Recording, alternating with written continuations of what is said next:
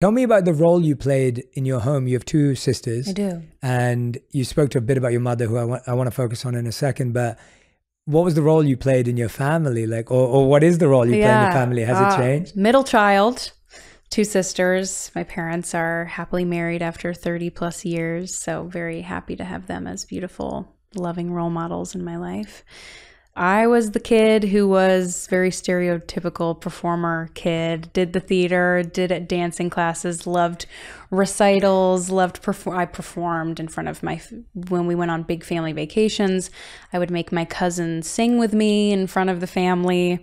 I was that kid, and uh, like it was terrible at sports. That kind of like this kid is meant to be an artist for sure, and I began struggling with anxiety at a young age when I was like 11 as when I got really bad, which sounds so young thinking back on it. Like I really was feeling such complex anxiety and my parents had no idea where it was coming from.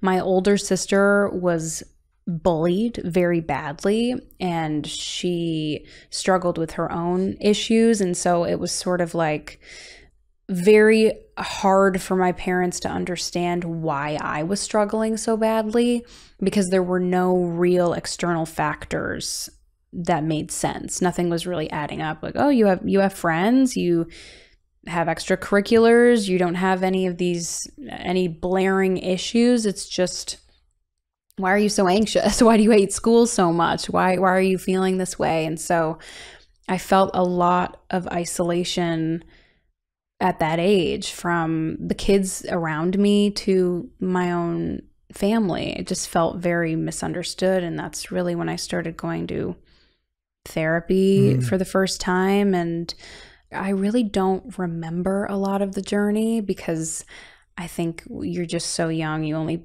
remember so many things. But also, I was in such a a weird tunnel vision stage of your life where you just are in fight or flight mode and you're not really taking in your surroundings or really living, you're just surviving.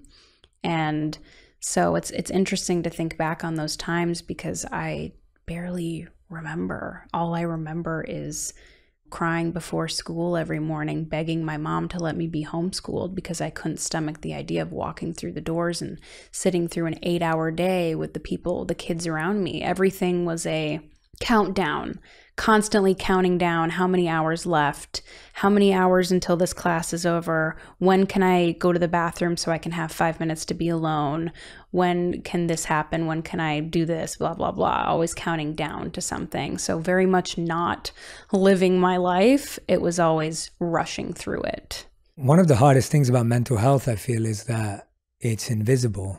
Mm. Like no one can see it. Yeah. No one understands it. Mm. And often people feel, well, you have this, so why would you be anxious? Yeah, it doesn't or add up. You have this, or then why would you experience depression?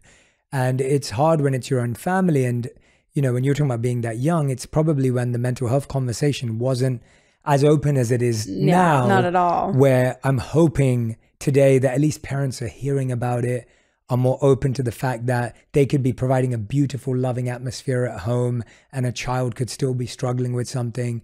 And I think that's one of the hardest things for parents is that it's almost like they see it as a reflection of them. Mm. It's like, what am I doing wrong? Yeah, what's wrong with my kid? What did I do? What did I do? Exactly. And and that idea of what did I do stops us from thinking about the other and thinking about that person when that's really the moment where a child is saying, I'm struggling with something and and the ego inside all of us, not just parents, the ego in all of us goes, but no, no, no, but that's not my fault. Like I or I, I don't want, I don't know. This can't I, be right. This can't be right because I didn't do anything for that. And it sounds like your parents are wonderful, right? Like from what I'm hearing. Yeah. And so obviously for them, I can imagine it's hard.